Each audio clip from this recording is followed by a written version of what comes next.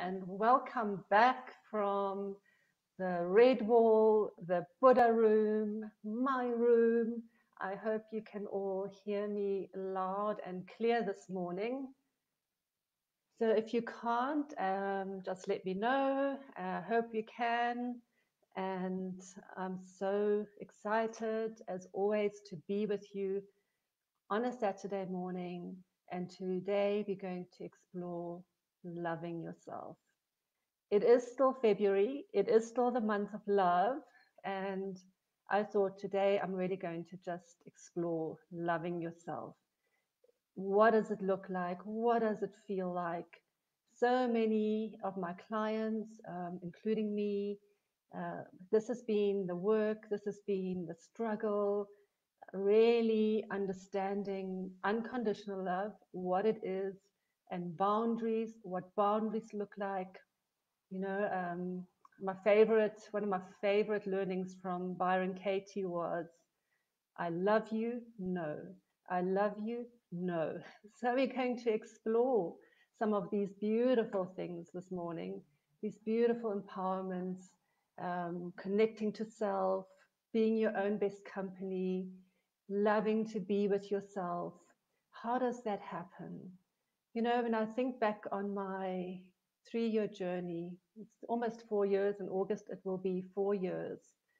What I'm most proud of, of myself, apart from ditching the drink, I'm most proud of loving myself. I'm really learning to love myself in ways I didn't think was possible. From the self loathing, the despair, almost four years ago to the joy of living life fully. And um, and this year, uh, this week actually, I got a a curveball. I've been since my teenage years. I've had kidney issues, and that and we had I had an op, and everything was sorted. And it's always sort of been at the back of my mind, um, my kidneys. And in December, I thought to test, something just told me, you know, having gotten really clear on my body that maybe something isn't quite right, maybe I should just check them. And they came up as being um, challenged, that they were struggling. And I was put on a diet and I've been doing all the right things and I've been really taking care of me and hydrating and uh, on Monday, I went for another test, and it came back that they my kidneys had deteriorated even more. Now, in the past, I would have gone into despair. I would have said to my, my self talk would have been, why? I've done all the right things. I'm doing all the right things. Why is this happening? It's not fair. What's wrong with my body? Um, I would have gone into hiding. I would have probably downed a bottle of wine, which would have been the worst thing to do. And instead, I, I remembered this beautiful quote that I heard on a podcast from a triathlete when he was asked, What is his biggest um, victory? Winning and winning. And he says, said that he, um, he has learned to talk to himself versus listening to himself. And when you think back to a couple of weeks ago, my Facebook Live about magic spells, incantations, I thought, yes, here I am. I'm feeling quite down.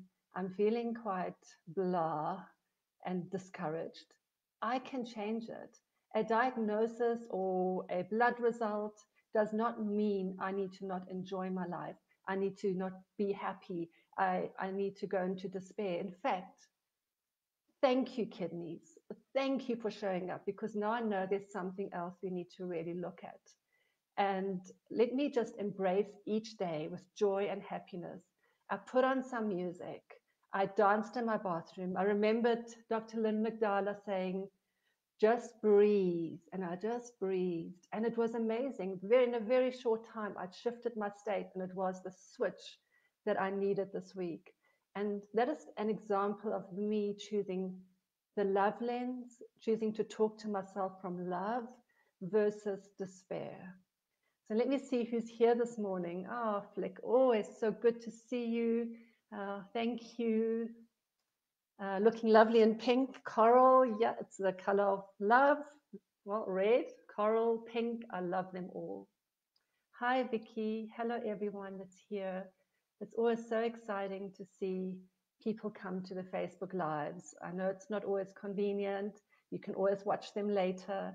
But today's Facebook, like I said, is really live. It's really important for me. It's a very special one for me because it really is one of the keys in learning to live a life of joy and happiness is learning to really love yourself.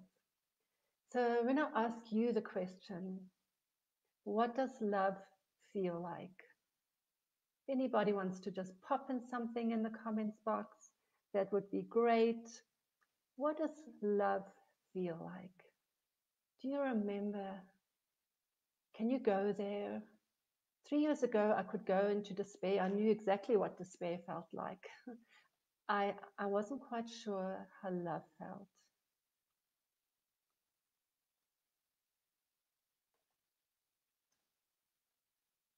Morning, Vanessa. So good to see you. And Tessa. You know, my heart always just goes, oh, yes, it's so good to see people here. And Janet knows what I'm talking about.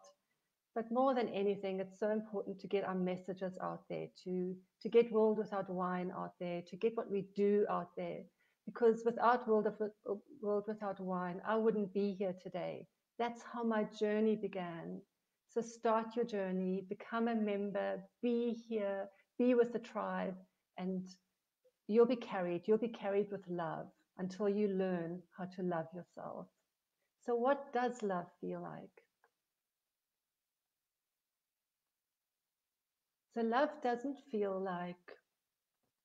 Maybe I can I can explain it more. Remember when you when you when you really fell in love with somebody, how you felt about that person, where that feeling sat, and how excited you were, and how joyful you were. And you couldn't wait to do things for this person. You would make them a cup of coffee first thing in the morning. You would um, write special letters, what I did, beautiful poems, or whatever, just to make the other person know that you love them. That feeling, that feeling.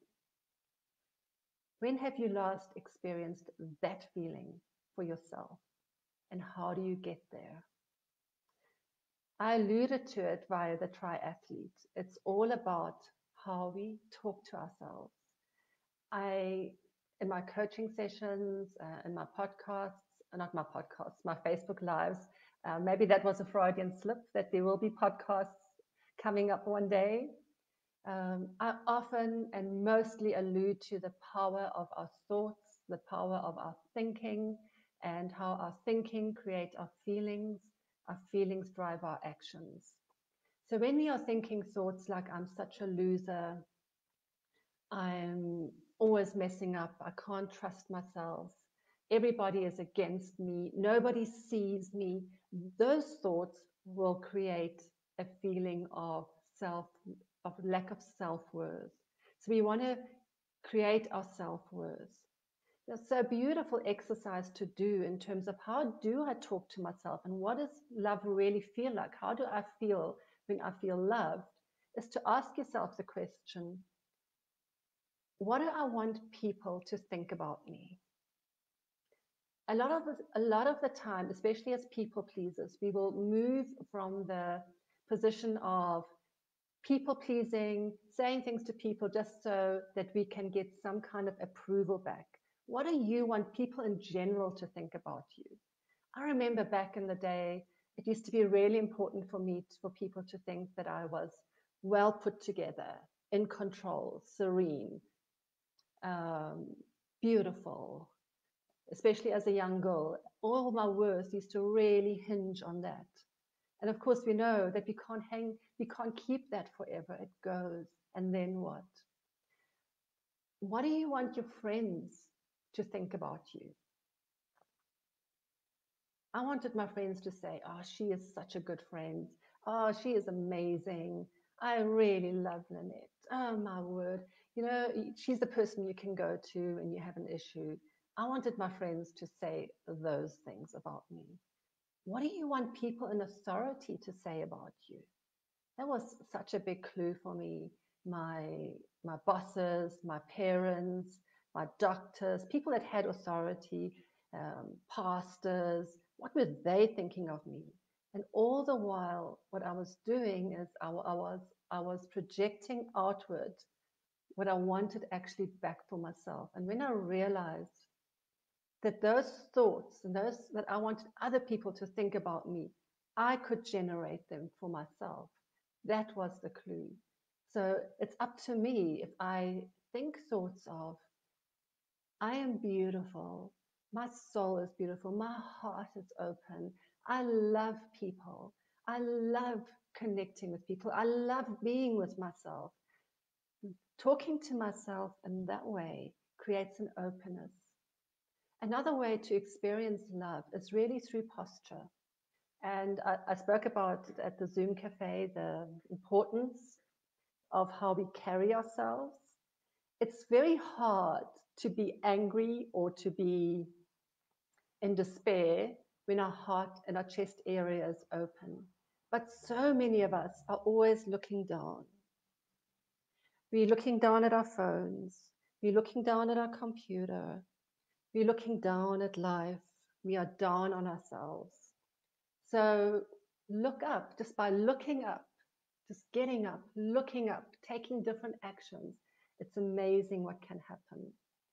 From a biological level, that is one of the ways we can we can shift our inner state. So when our inner state is we are flat, we're not feeling joy, we are demotivated, and this is going to happen. If you are if you've had unhealthy amounts of dopamine rushes through through alcohol, through food, and you're taking that away, you are going to have the dips. You're going to start feeling like you're flatlining. At this moment, when you start feeling it, you start feeling the colorlessness of life. That's when you need to really go into your self love. You need to talk to yourself. You need to talk to yourself from a point of love. It's almost like parenting ourselves from a point of love. So many of us were parented from harshness, from judgment, from the big stick. So it's very difficult to learn how to parent ourselves. Biologically, what I'm asking you to do is to choose your prefrontal cortex over your subconscious, your primitive brain, your primitive brain that just worries and wants to keep you safe and just wants to, wants whatever, wants you to do whatever's just going to get you feeling slightly better right now. And what the, what the primitive brain remembers, the alcohol, remember that made you feel good. So just go for that. You want to override that and you want to strengthen our prefrontal cortex. You want to you want to strengthen that part in our brain where we become the our, that I call it my choice muscle. You want to strengthen our choice muscle. So we are flatlining. We're not feeling great. We're not feeling the love. What can we do?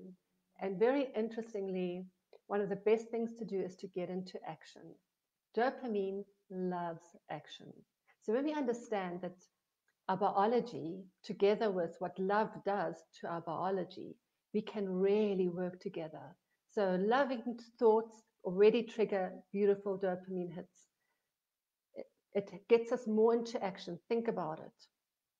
When you're feeling in love with somebody or you have you, you've just felt a real connection to another person and you take action from that point what does it look like what does it feel like it's amazing it's so much more positive than when we do it from a sense of shame and guilt I've messed up again. Now I need to overcompensate with my kids. I need to overcompensate with my husband.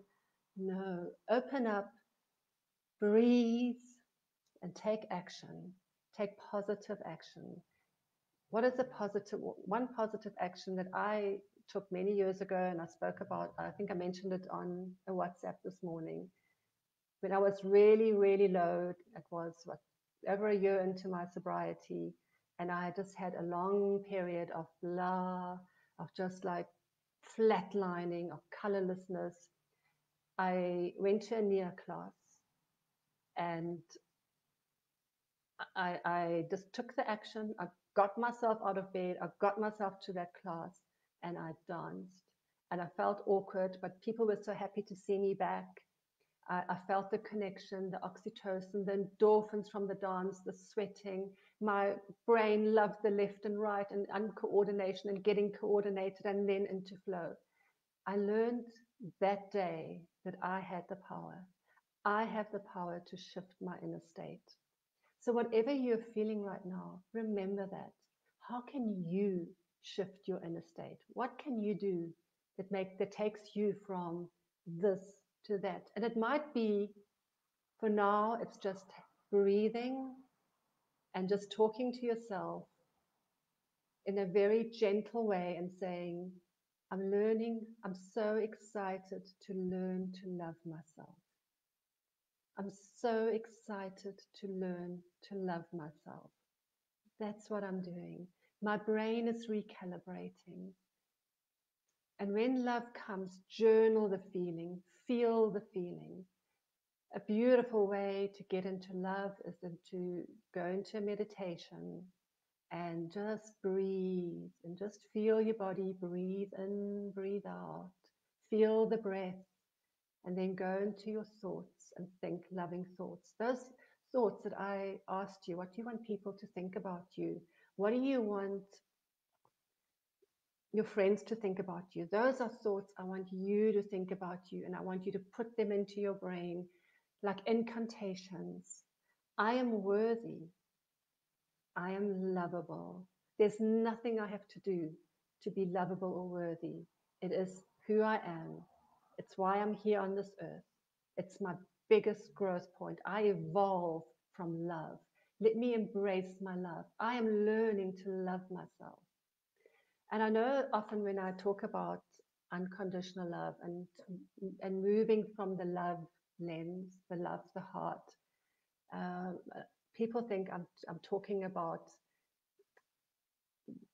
uh, letting people just saying, okay, so and so can just treat me like they want because I'm I'm moving from love. No, remember Byron Katie. I love you. No, I love you. No, you are the queen of your castle, and the boundary walls are up to you to keep them safe. Who can come in? Who do you let in? What thoughts do you let in? And what do you let out that is not serving you and your castle? You are the queen. So I want you to really drop into that. When we create loving boundaries and we say no, we are starting to talk our truth. When we just agree and, and condone, we are lying, we are people pleasing. It's a very common uh, defense mechanism. I still catch myself doing that. And then I just say, wow, what, that was quite interesting you were busy people pleasing there, selling yourself for oxytocin or for a quick dopamine hit. But what is going to be more longer lasting is to tell your truth. Like Raya Elias always said, the truth has legs and it will stand up. So tell the truth, but tell it from a point of love versus a point of judgment. And that is that is a skill that we have that we can dance with. Maybe initially it sounds awkward, but when I say to my husband now, or my children, or my grandchildren, I hear you, I hear what you're saying, but no. No. When, my, when people say to me, why don't you drink? Come on, have a drink. It's so much fun. I'm like, I can see you enjoying it. I can see it's good for you. No my boundary. I don't have to give any excuses. I don't have to say why, no, or I don't want to, are, are complete sentences. And being, but coming from it from a loving point is quite different to when we, when we are saying, no, I don't want to, leave me alone, or why are you always making those demands on me? Or what, when we're coming from that point, it's not love. So love is a dance. A love is a dance within ourselves. It's a connection to self. and it's also a connection to others. And coming from a point of love is so much more enriching than when we're coming from a point of anger, fear, frustration. People must like me. It doesn't feel good long term. I want you to go for the long term rewards. So if you're feeling flat today, get up, breathe, do something, take action. Action is the best hit for, uh, for dopamine. And a brain wants a bit of excitement, a bit of frustration, then it's happy. Then dopamine is saying, Yes, we are alive. Come on, let's go, let's do. And that comes often from taking action. Often it's not about how we feel. Our feelings can often keep us stuck if we are always just doing what we feel like doing. We need to get say to ourselves, this is the action, this is the love action, and do it. And the feeling will come. The, and the thoughts and the feelings and the actions will start aligning. And you will start feeling your inner joy, your inner peace, no matter what life throws at you, whether it's a, it's a diagnosis that you were not expecting, whether it, it's something that fell through, whether it's the fact that I'm here and my husband is in Mauritius, we can still find our joy. My joy is up to me. And we often need to find ways to really soothe ourselves with the way that we talk. So, soothing ourselves is not like sucking our thumbs. Soothing ourselves is through inner rewards the inner reward of, I've got you, I hear you, I love you. Let's do this. You got this. I'm feeling flat today. It's okay. My brain is recalibrating. My brain is healing. Get excited about discovering you. And that is really where the work lies. And the, and the, and the work that I've done in these last three years have all been around learning to love myself, learning how to soothe myself out of despair and out of feeling low and dark, learning how to look up and learning that within me there are worlds and galaxies. So there are gal- galaxies and worlds within you to discover.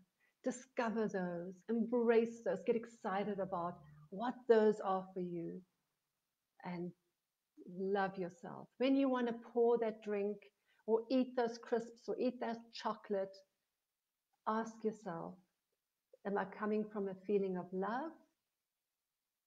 Or what feeling am I coming from right now? And then do the work.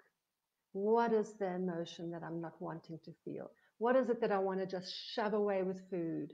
What is it that I want to just drink away with alcohol? What is it? Get curious.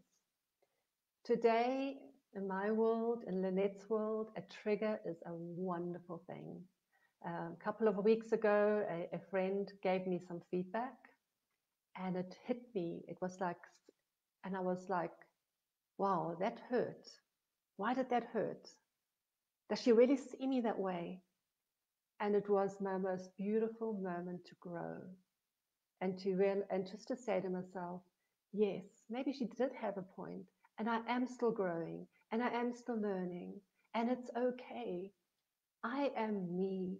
I am learning. I am learning to love myself. It's all good. And but the emotion that came up immediately was I need to fix myself. There's something that's still wrong with me. There's something I haven't dealt with yet.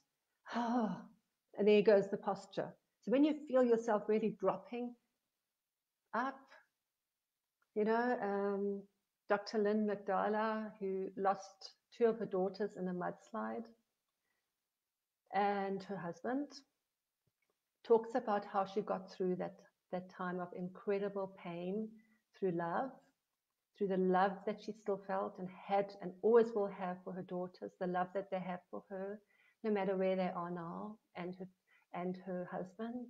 And she was able to, to dance. She, what she did is she would She's a chiropractor, so she's very much about our posture, our breath work, and almost being like a, a ballroom dancer. She took the photos of her daughters, each one she would dance with. She would dance with them, feel the love, send the love, feel the grief, send the grief, and just dance it. And she asked us in, in her workshop to just be in this posture, this posture of openness, open heart, and breathing, and to listen to her story without going, Oh no, how terrible. When I was telling you about my kidneys this morning, what was your first reaction? Was it, Oh no, that's terrible for Lynette? Or was it, Wow, Lynette's got this? It's all good. Can you can you hold in your posture? Can you hold the toughest emotions? And I want you to try them on like beautiful garments, all these different emotions that are out there. I want you to try them on and breathe them, be with them, and love all of it the good, the bad, whatever life brings. Strengthen your choice muscle before you pick up that glass of wine or you drink another drink or you go on a binge. Take a pause and ask yourself is this is this what love feels like what would love do ah oh, you can hear this topic is very dear to me let me see who else has popped in. Hi yeah tessa. Self-love. Love a powerful warm sense of empathy towards those that you love including yourself. Yes flick. Being willing to do anything for the person that you love, including yourself.